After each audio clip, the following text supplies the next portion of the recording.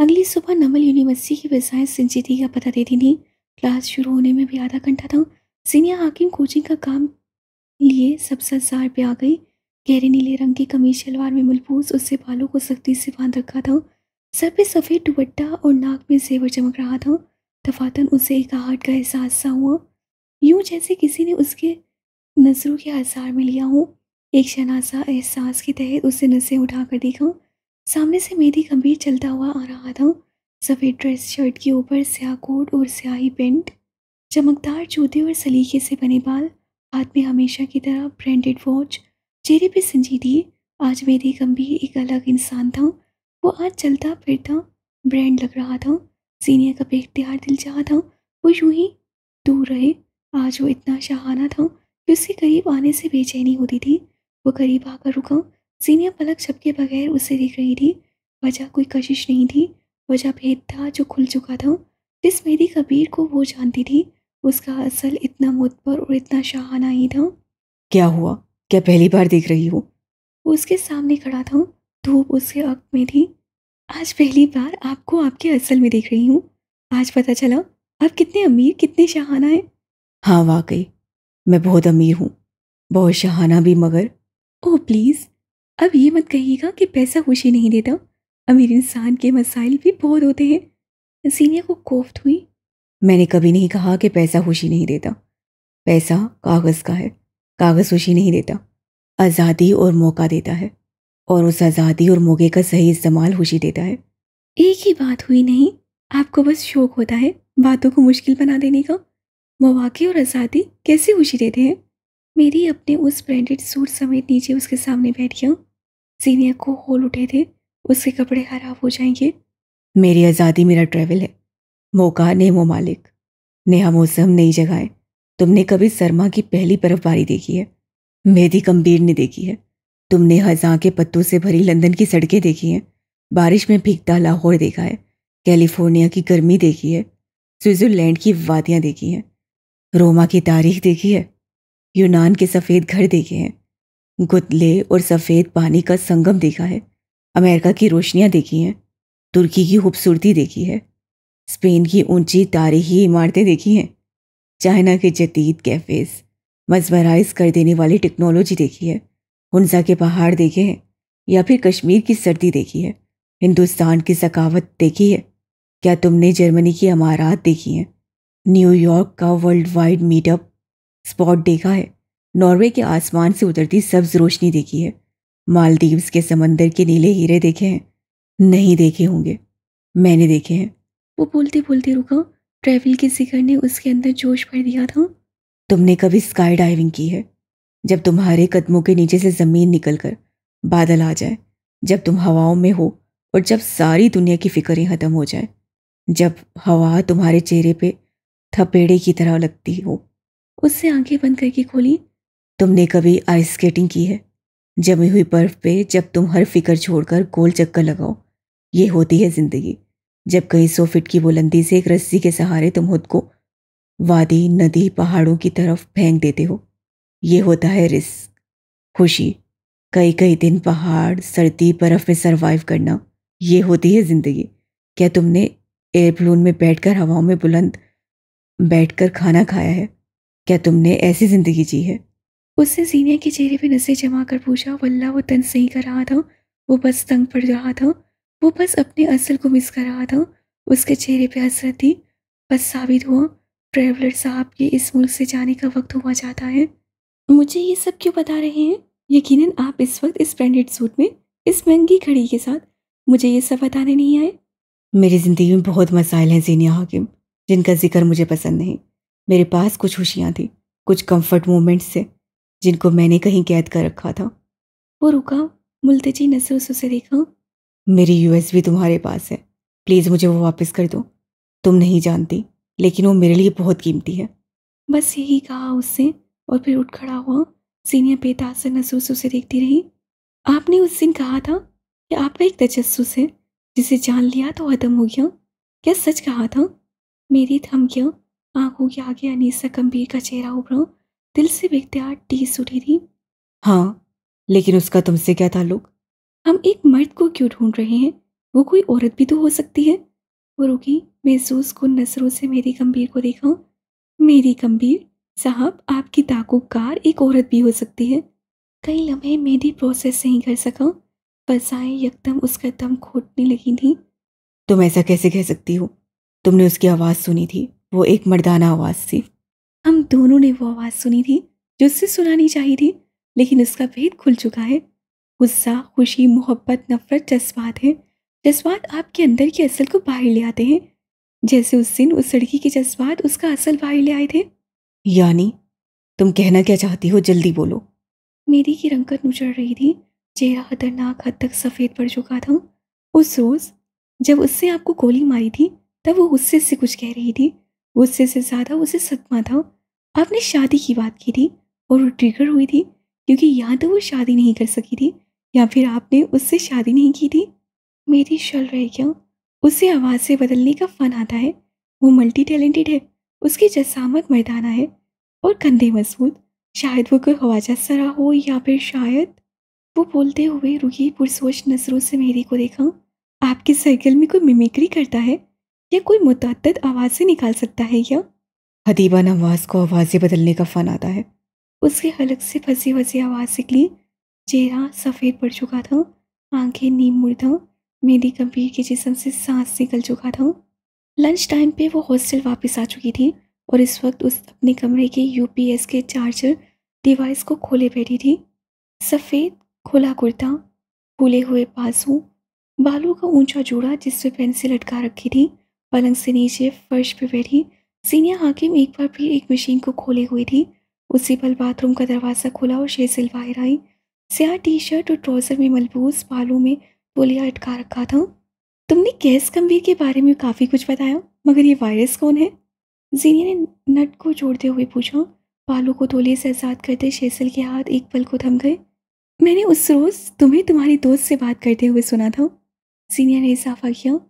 उससे शायद तुम्हारा कोई राज खोला था। मैं जानना चाहती हूँ, क्या तुमने उसे इसीलिए छोड़ा था?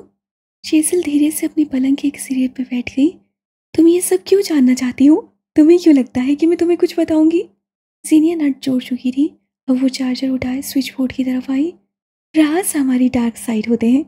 जैनब, उन्हें राज सहना चाहिए, है ना? सीनियर रुक सी गई। बताओ जीनिया हाकिम, क्या तुमने कभी किसी को राजों के खुल जाने के डर से छोड़ा है? या फिर दुनिया में शेजिल सिम्सन वाहिद बेवकूफ़ है? सीनिया के लिए आसपास की सारी दुनिया चंद पल के की थम गई। वो किसी और के भेद खोलने चली थी, और इस वक्त उसके अपने भेद खुल चुके थे।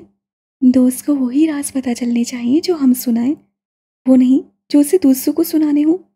गुस्से बरसों में गवादर, इतना खुशहाल और तरक्की की जाने काम सा नहीं था। उन दिनों गवादर पसमंदा था। स्कूल से छुट्टी का वक्त था।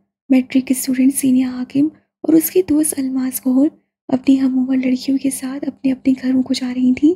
हल्के आसमानी रंग की वर्दी के साथ बड़ी बड़ी चादरें पहने सीनिया और अलमास गली में दाखिल हुई तो मरवतन सीनिया ने उसे अपने घर आने की दावत दे डाली। गर्मी बेतहाशा थी और प्यास सख्त अलमास इस पेशकश को न ठुकराते हुए उसके साथ घर में दाखिल हो गई, मगर जो मंजर उन्होंने देखा वो कयामत जैसा था। हाकिम नवाब हाथ में हंटर लिए बेदर्दी से अपनी बीवी के जिसम पे बरसा रहे थे, जो लस्सी धूप में, फर्श पे बदमोही सी औरत के लबों से करा तक निकलना बंद हो चुकी थी। सीनिया ने बेख्तियार दीवार का सहारा लिया। आँखें पानी से भरने लगी थी। उससे मुड़कर अपने साथ खड़ी लड़की को देखा और एक लम्हा, बस एक लम्हा चाहिए होता था उसे हाथ को आम कर देने के लिए और वो कर चुकी थी। क्लास से उस की नज़र में सीनिया का एक मुकाम था। क्या हुआ अगर अलमास को और उन्हें ये बताया है कि सीनिया के घर में मौजूद उसका बाप फाइव फीटर है और सीनिया का घराना सिख है, वो उसका भेद पा चुकी थी, मगर उससे खोलने से पहले सीनिया उससे दूर हो जाएगी? मैं उसके लिए बहुत थी। मैं जानती थी, मेरा राज इस्तेमाल नहीं किए जाएँगे, लेकिन मेरे दिल के एक कोने में शक था। मैं उसके साथ हमेशा मुखलिस रहना चाहती थी। हमारा ताल्लुक क्रिस्टल क्लियर था। मेरे वहम ने उसे धुंधला कर दिया। अगले तीन दिन सीनिया स्कूल ना जा सकी थी। बहाना अम्मा की तबीयत खराबी का था। मगर असल बात यह थी कि वो अलमास खोई की अपनी ज़िंदगी से चले जाने का शौक बना रही थी। तीन दिन, बस तीन दिन और सीनिया इंसानों को यूँ भूल जाया करती थी कोया कभी रही ही ना हो। स्कूल में दाखिल होते ही उसे दूर से अलमास और लड़कियों के साथ खड़ी हंस कर बातें करती दिखाई दी। सीनिया को शक बल्कि यकीन हुआ ये बात उसी की थी। करीब आने पे उसके कान में बस अपने नाम की पुकार पड़ी और फिर अलमास बोलते बोलते चुप हो गई। सीनिया उस वक्त कुछ ना बोली, मगर वो जहन में खाका तैयार कर चुकी थी, जिसमें अलमास उसके खिलाफ साजिश कर रही थी और उसके रास खोल रही थी। ब्रेक के वक्त जब अलमास ने उसे कैंटीन चलने की ऑफ़र की तो बिलाहिर सीनिया फट पड़ी। तुम उन लड़कियों से मेरी बात कर रही थी, है ना? उसके इस कदर काट डाल लहजे पर अलमास को हैरत हुई। मैं तो हर दूसरे इंसान से तुम्हारी बात करती हूँ क्या हो गया है? तुम उन्हें बता रही थी कि मैं स्कूल क्यों नहीं आई? तुमने उन्हें क्या बताया है? यही कि तुम्हारी तबीयत ठीक नहीं थी? और भला क्या बताना था? अलमास के अंदाज में कुछ भी गैर मामूली ना था। जीनिया थम गई, मज़ीद सवाल ना कर सकी। मगर उसके दिल में यकीन नुमा शक चढ़ पकड़ चुका था, जो जल्दी उनके ताल्लुक को खोखला कर देने को तैयार था। मेरे दिल में शक आ गया था। मैंने कभी इतबार करना नहीं सीखा। उससे मुझे बचाना चाहा था, लेकिन मैंने उसे दोस्ती की। सैनिटी की हादिश छोड़ दिया। सीनियर की आवाज़ इतनी हल्की थी कि वो बामुश्किल खुद सुन सके। पूरा हफ़्ता वो अलमास से खिंची खिंची रही थी। अलमास बात करती तो खो खा में जवाब देती, वरना घंटों घंटों खामोश बैठी रहती। अलविदाई तकरीब का ज़िक्र होता, कपड़ों और ज्वेलरी की बात छिड़ती हाँ देखेंगे कहकर डाल देती। अलमास उसका ये रवैया समझने से खासी थी, मगर खामोश थी। सीनिया यही करती थी। वो ताल्लुक तोड़ते वक्त अगले को इतना सिच कर देती थी कि वो खुद आए और उससे कहे कि बस आज और अभी से सब खत्म। तुम मेरे साथ ये सब क्यों कर रही हो, जैनी? चंद दिन बाद फेयरवेल पार्टी वाले दिन बिलाहिर अलमास से रोते हुए पूछा था सीने ने सुनहरी आँखें उठाकर उसे नासमझी से देखा? क्या कर रही हूँ? मैं ज़रा, मुझे भी पता चले। तुम इतने दिनों से मुझे इग्नोर कर रही हो। मेरे साथ होते हुए मेरे साथ नहीं होती। मैं बात करती हूँ तो जवाब नहीं देती। क्या तुम चाहती हो मैं तुम्हें छोड़ दूँ? तो छोड़ दो। इससे ऐसा मसला क्या है? अलमाज सोना फूल कर उसे देखी गई। दुनिया के नायाब पत्थरों के मेलाप से बनाया होगा सीनिया का दिल। क्या तुम्हारे लिए इतना आसान है किसी ताल्लुक को ख़त्म कर देना? सीनिया चंद लम्हे उसे देखती रही, फिर एकदम उसकी आँखों से हर तासुर गायब हुआ और वहाँ बस सफ़ा की थी। उससे अलमास के आगे चुटकी बजाई, इतना, बस इतना आसान है।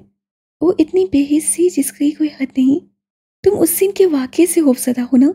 मैं किसी को नहीं बताऊँगी सैनी लम्हे के हजारवें हिस्से में सीनिया के चेहरे की रंगत मुतगैर हुई। तुम वक्त लो, मुझ पर दोबारा एतबार करने के लिए। मैं सारी ज़िंदगी तुम्हारी एक पुकार का इंतज़ार करूँगी। गीली आँखें रगड़ती उससे क्या कह गई थी? उसका अंदाज़ा अलमास को और को नहीं था। सीनिया कई लम्हे साकी रही। उसका दिल टूटा था और बहुत बुरी तरह टूटा था। मैं उसके साथ रहती लेकिन उस पर यकीन न करती तो ये मुनाफ्त होती। मैंने उसे छोड़ा, क्योंकि मेरे साथ मसाइल थे। हकीकत यह है। कि मैं आज भी उसे मिस करती हूँ। मैं आज भी उसकी तरफ़ लौटना चाहती हूँ। मैं जानती हूँ उससे मेरी जगह संभाल रखी होगी। मेरा मुकाम मौत पर होगा। काश वो एक बार पहल कर दे। मैट्रिक के इम्तहान और रिज़ल्ट के बाद ये उनका कॉलेज में पहला दिन था। साइंस क्लास में बैठी सीनिया हाकिम अपनी क्लास वालों से रस्मी गुफ्तु कर रही थी। जब उसे अलमास अपनी ओर आती दिखाई दी, उसके चेहरे पर मुस्कुराहट थी और उसके अंदाज में गर्म जोशी ये हमारी क्लास नहीं है, सैनी। आर्ट क्लास ऊपर वाले पोर्शन में है। उससे इतला दी मैं एफ़ एस सी कर रही हूँ एफ़ ए नहीं, एक धमाका था जो अलमास के सर पे हुआ था। ये मेरी दोस्त थी, मेरे स्कूल में। सीनियर ने उसका तारुफ ठीक से करवाया था, यानी वो उसकी तरफ़ कदम नहीं बढ़ा रही थी। उन दोनों ने एफ़ ए करना था, लेकिन वो अलमास से दूर होने के लिए कुछ भी कर रही थी।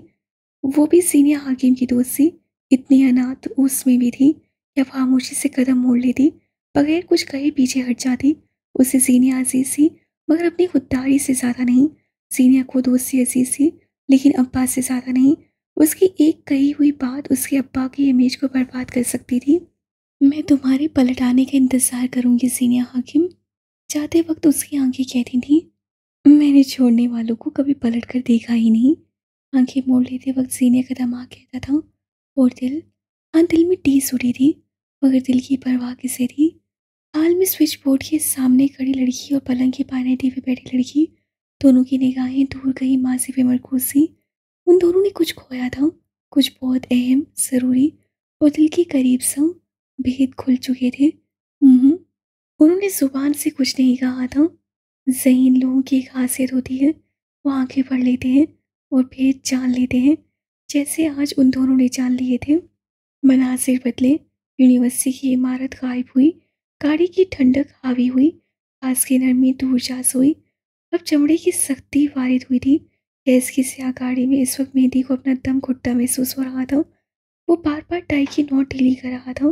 कभी सीने पे हाथ मारता था, उसे सांस लेने में दिक्कत सी हो रही थी। उसके साथ बैठा गैस अपने मोबाइल पे कुछ टाइप कर रहा था। जरा जरा सी देर बाद वो किसी को कॉल भी कर लेता था। आज के समय टेक्सटाइल इंडस्ट्री की दुनिया में अपना लोहा मनवाने वालों लोगों का गुजर होना था। यूँ तो कैसम मुल्क का सबसे आला और पायदार ब्रांड था। लेकिन कई और ब्रांड्स भी थे जो टक्कर के थे। कपड़ा आजकल की सूरत में पहले नंबर पे है। सो कपड़े बनाने वाले और डिज़ाइन करने वाले आजकल लड़ते नहीं डील कर लेते हैं। यानी अगर कैसम टेक्सटाइल किसी मुल्क से कपड़ा दरामद करवाएगी तो एक धान का अंदाज़ा पंद्रह सौ देगा। अब अगर बीस कलेक्शन उसी धान का दो हज़ार देने लगी तो फ़ायदा उन दोनों का नहीं हो सकता था। हमारे मुल्क के सियासतदान कारोबारी मुल्क को अपने हाथों से बर्बाद कर सकते हैं लेकिन एक सच्चाई है कि वो किसी दूसरे मुल्क का निवाला नहीं बनते। इन संजीदा मसाइल को छोड़कर हम कहानी की तरफ़ बढ़ते हैं। तुम इतनी बाकायदगी से कभी स्कूल भी नहीं गए? फिर यूनिवर्सिटी में ऐसा क्या है? नज़र मोबाइल पे जमी थी और सवाल मेहंदी से किया गया था जिसका जवाब अलबत्ता नहीं मिला। कहीं किसी लड़की का मामला तो नहीं? और अगर है तो मुझे बताओ। क्यों? क्या तुम उस लड़की से मेरी शादी करवा दोगे? बेजार ले जाऊँ। मैं उस लड़की और तुम्हें बकायदा फांसी दिलाऊँगा ताकि रवायात तोड़ने वालों को सबक मिल सके। अपने बारे में क्या ख्याल है? तुम्हारी भी एक आदत मंगेतर है जिससे शायद तुम शादी नहीं करना चाहते। वो बस अंदाज से लगा सकता था कि इसके मामला में उसकी मंगेतर का मामला वो वाहिद था जिसके बारे में मेरी को बात करने की इजाज़त नहीं थी न किसी घर वाले को इजाज़त थी कि वो इस मामले का ज़िक्र मेरी से करे। तुमसे कहा था मैंने, किस मामले में मत पड़ना। इस पे तुम्हारा साया पड़े, मैं ये भी बर्दाश्त नहीं करूँगा। ओके ओके कूल डाउन वैसे वो मेरी भाभी होगी, इतना सीरियस क्यों हो जाते हो? तुम मेहदी, तुम उस लड़की से, उसके ज़िक्र से भी दूर रहोगे। तुमसे उसका कोई ताल्लुक नहीं, मेरे ज़रिए भी नहीं। उससे एक एक लफ्ज़ चबा चबा कर अदा किया था, मेहदी ने लब खींच लिए। केसम की इमारत के बाहर गाड़ी रुकी तो मेहदी ने गर्दन उठाकर उसे देखा। साथ एक थकी थकी सांस हारिज की वो ज़िम्मेदारी और कैद से भागने वाला इंसान था और कैसम उसकी कमर पे लदा बोझ, काश कुछ ताल्लुकात, जिम्मेदारियों और इंसानों से दस्तबरदारी आसान होती। वो भी गाड़ी से उतरता कि मोबाइल की रिंग टून ने उसकी तवज्जो खींची एयरसेल कॉलिंग के अल्फाज चकमकाए तो उसके चेहरे पर मुस्कुराहट दौड़ गई। शोफर ने उसके लिए गाड़ी का दरवाज़ा खोला। वो यूँ ही फ़ोन कान से लगाए, गैस के साथ कदम उठा रहा था। नहीं बच्चे, मैं तुम्हारे बर्थडे पे नहीं आ सकता। मेरा एक दोस्त है चाइना में। वो तुम्हारे सारे तोहफे दे जाएगा। वो रुका आगे से बात सुनी साथ लिफ्ट में सवार हुआ। नहीं ट्रैवलिंग का भी एक असूल होता है। जो मुल्क बकेट लिस्ट में हो वहीं जाना होता है। मैं नॉर्वे जा रहा हूँ। दोबारा कुछ कहा गया था मेहदी के लब भीज गए एजल जिद मत करो कहाना नहीं आ सकता। अच्छे बच्चे जिद नहीं करते। उसका लहजा सख्त हुआ था। मामा सही कहती है सारे गंभीर स्मीन होते हैं आप भी वैसे ही हैं। उससे रोते हुए कॉल काटी। मेरी का फ़ोन पकड़े हुए हाथ शल सा हो गया। यह संजीदगी से उसे दिख रहा था। तुम्हें बच्चों से बात करने की तमीज़ जितनी जल्दी हो सके सीख लेनी चाहिए। सफाक तबसरा अगले चंद लम्हात वो दोनों एक शांत से ऑफ़िस की राहदारियों में कदम रख रहे थे। वो दोनों ऊँचे कद के थे। उन दोनों के सीने छोड़े थे। वो दोनों एक दूसरे से नफरत करते थे। शायद मोहब्बत भी। वो दोनों एक दूसरे को कत्ल भी कर सकते थे। मगर वो दोनों जब साथ थे तो दुनिया खुद बहुत मरने लगती थी। वो दोनों एक दूसरे का मज़बूत सहारा थे और वही एक दूसरे के पैरों से ज़मीन भी खींच सकते थे। एक दूसरे का अगर साहिबान थे तो एक दूसरे को झुलसाने वाले भी खुद ही थे। क्या थे वो दोनों? कज़न सुमा भाई या फिर दोस्त सुमा दुश्मन? कॉन्फ्रेंस रूम में इस वक्त जो लोग बैठे थे, उनका सरापा रोप था और शख्सियत मुस्तासिरकिन उनके वजूद से महँगी खुशबू उठती थी, गर्दन उठी हुई लिबास ब्रांडेड उन्हीं लोगों में हमारा आधा भी था वो दोनों अंदर दाखिल हुए तो कई लोग उठ उठ कर उनसे मिलने लगे। मुसाफा हुआ, गले लगाया गया। कुछ देर बाद सामने चलती स्क्रीन के आगे खड़ी सारा प्रेजेंटेशन दे रही थी। मुल्क के नाम पर कारोबारी डिज़ाइनर्स उसे गौर से सुन रहे थे। पिछले साल जो सिल्क मंगवाया गया था, उसमें हमें सिर्फ़ और सिर्फ़ नुकसान हुआ। अहमद खान ने कैसम से दुगने दाम पे खरीदा। नवीद अंजुम ने अपने ताल्लुकात इस्तेमाल करते हुए कैसम से तीन गुना कम कीमत में खरीदा। और जंजबील ने मैार की बजाय तादाद को फोकियत देते हुए सस्ता सिल्क मंगवाया, जिससे ज़ाहिर है उन्हीं की साख को नुकसान हुआ। सारा बोलते हुए रुकी नज़र उठाकर सारे में देखा उसकी गर्दन पे हल्का हल्का पसीना था, उसने गैस को देखा, वो नर्वस हो रही थी। गैस उसे देखकर मुस्कुराया, अपनी जेब से एक लिपस्टिक निकाल कर उसे दिखाई, फिर उंगलियों को कोल करके तीन उंगलियाँ बाहर निकाल कर ज़बरदस्त हो जैसे सारा ने मुश्किल अपनी मुस्कुराहट छुपाई। इतमाद बहाल हो चुका था। वो कम बोलता था, मगर अच्छा गुस्सा कभी कभार देता था। मगर यूँ कि फिर तुम बुलंदियों की तरफ़ जाने की ख्वाहिश करो? हल क्या हो सकता है इस सब का? वो रुकी, सारे में नज़र दौड़ाई। आपसे इख्तलाफात को एक तरफ़ करते हैं? अगर कैसम एक दान का दस हज़ार देगा तो आप भी दस हज़ार देना होगा। अगर कैसम मैार लाएगा तो आप भी अपने लिए मैार का इंतज़ाम करें। हमारा मुकाबला आपस में फिर दूसरे लोगों को अपना फ़ायदा उठाने क्यों दें? अगले हफ़्ते बीजिंग में एक सेमिनार है और कैसम का सालाना खरीदारी का वक्त? अगर आज आप सब यहाँ कॉन्ट्रैक्ट करने के लिए राज़ी हो जाएँ तो हम आगे बढ़ सकते हैं। अगर फिर आपको कोई नुकसान भी हो तो वो माली नहीं होगा साग नहीं डूबेगी। बस फिर आपको सिर्फ़ कैसम से आगे जाने की तक तो करनी होगी। जो कि बेकार है कोई कैसम नहीं बन सकता। पराग हनीफ ने भी अंग्रेज़ी में तबसरा किया लोग खोल कर रह गए मगर कुछ कह ना सके। टेक्सटाइल इंडस्ट्री में बराक हनीफ का सिक्का बोलता था। के बाद दिगरे हर कोई साइन करता चला गया। कैसम से मुकाबला अच्छा था, मगर कैसम से आगे जाना या फिर पीछे रह जाना बुरा। कैस सरबराही कुर्सी पर एक तब कनत के साथ बैठा था। लोग उठ उठ कर उसे मुबारकबाद दे रहे थे। वो सर के हमसे शुक्रिया अदा कर रहा था। वो बादशाह यूँ ही नहीं बना था। गुलामों जैसी जिल्लत और सख्तियाँ झेल कर आया था। हम इस माहे पे राज़ी हैं। लेकिन हफ़्ते बाद बीजिंग में होने वाले सेमिनार का दावतनामा हम सबके पास है। लेकिन इस बार हम टीम बनकर जा रहे हैं। कैसम से कौन जाएगा? सुरवाई बालू और तराशीदा नकोश वाली समिया हमीद की बात पर सबने सही लाया। फिर पूर्व की नसों से मेहदी को देखा। भला एक ट्रेवलर के अलावा कौन जा सकता था? सब लोग गैस के जवाब का इंतज़ार कर रहे थे। दूर कहीं मेरी चाहता था कि उसे भेजा जाए ताकि वो एसल से मिले। मगर मीरा को ये यकीन रहे कि वो उसके लिए नहीं आया? उसी लम्हे उसके मोबाइल पर एक पैगाम आया। आपने कहा था मुझे बुलाना। मैं तुम्हारे लिए आऊँगा। क्या आप आओगे? अंग्रेज़ी में लिखा टाइपोज से भरा पैगाम पढ़ते कैसे सर उठाया?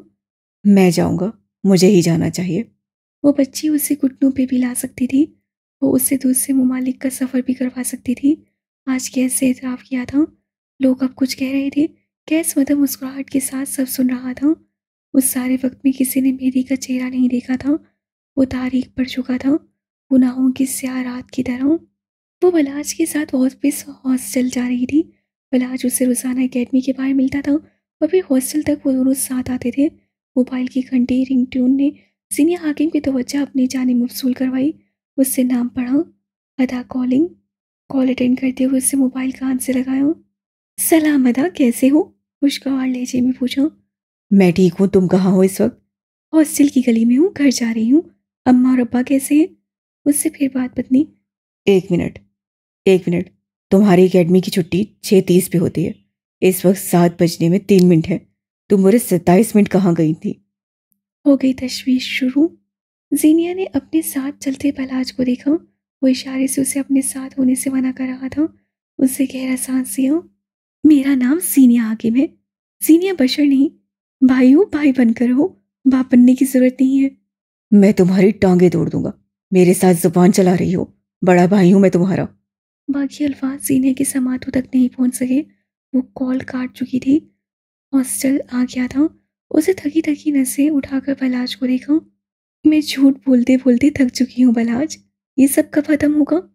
बलाज से बगैर कुछ कहे बस आँखें झपका कर उसे तसली दी।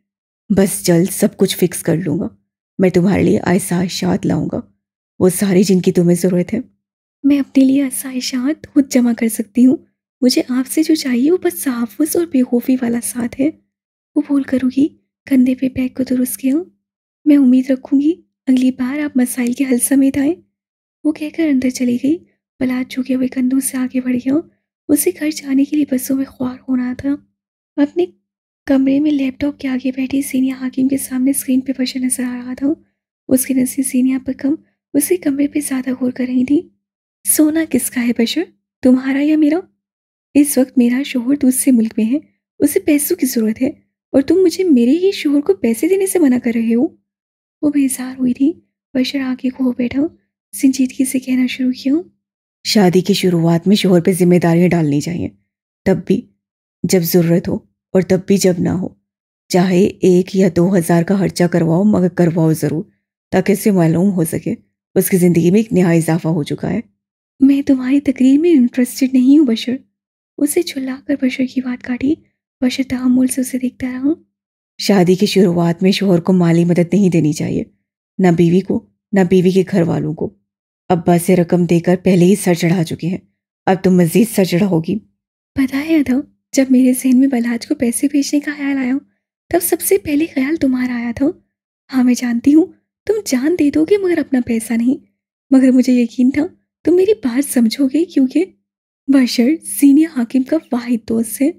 उन दोनों ने बाया वक्त दोहराया, और दोस्त वो होता है जो मुसीबत के वक्त मशवरा नहीं साथ दे तुम दे रहे हो या नहीं? बशर ने गहरी सांस सी दो बहनें थी उसकी, लेकिन सीनिया के आगे वो हमेशा हार जाया करता था और उसे ये हारना पसंद था। तुम्हारा सारा सोना अम्मा के पास है मैं कैसे मांगूँगा? और अगर मुझे मिल भी गया तो मुझे गैरत नहीं आएगी उसे बेचते हुए।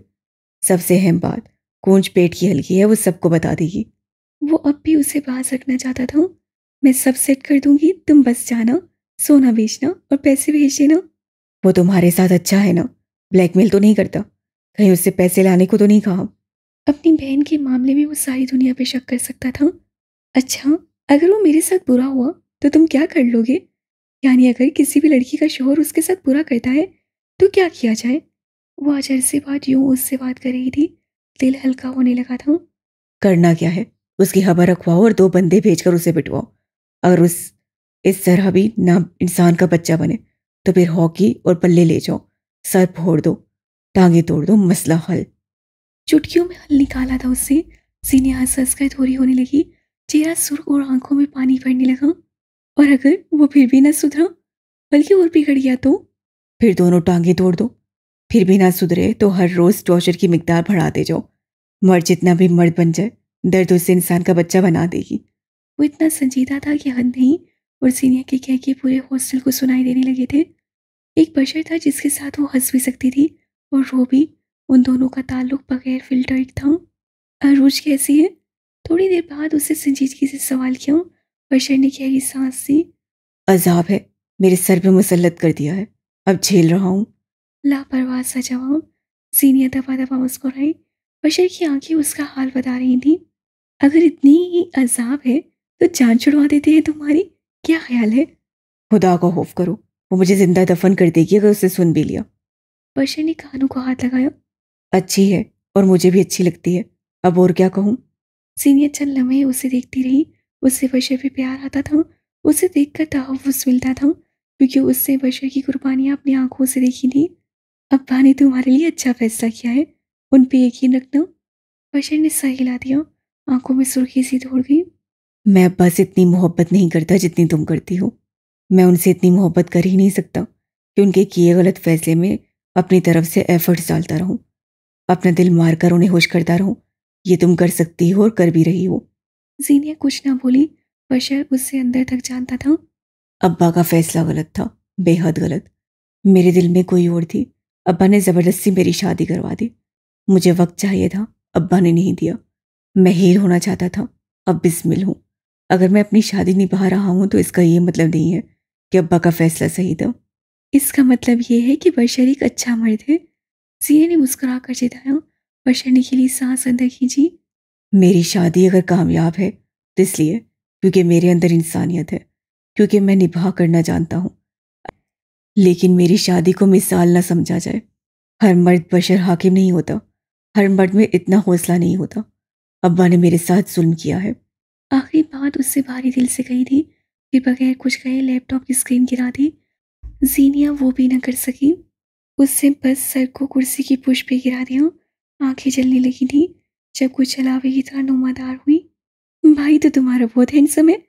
बात चलाओ ना मेरी। आँखें पटपटा कर कहती हुई इंतहाई जहर लगी। तुम क्रिश्चियन और मेरा भाई मुसलमान, कन्वर्ट कौन होगा? पहली किताब से निकाह जाए से तुम बात तो शुरू करो। वो मिसर हुई। सीनियर ने आगे खोली संजीती से उसे देखा। मेरे भाई की एक रत बीवी भी है। अब आगे बात बढ़ाऊं? शराकत तो शेजिल स्ट्रॉबेरी मिल्क पे भी ना करे। फिर तुम्हारा भाई क्या चीज़ है? हम्म, ऐसा भी कोई खूबसूरत नहीं। बेगा है तुम्हारा भाई। चलकर कहती वो बाहर निकल गई। सीनियर को यही चाहिए था। उससे सर एक बार फिर कुर्सी की पुष्प गिरा दिया। अम्मा कहती थी शादी पे मेहनत करो। वर्षा कहता था और वहाँ के इन एफर्ट्स ना करो। ये वो पॉइंट था जहाँ सीनियर की तमाम सोचें ख़त्म हो जाती थी। काश कोई उससे लफ्ज़ इत्ताल की आगाही दे आए काश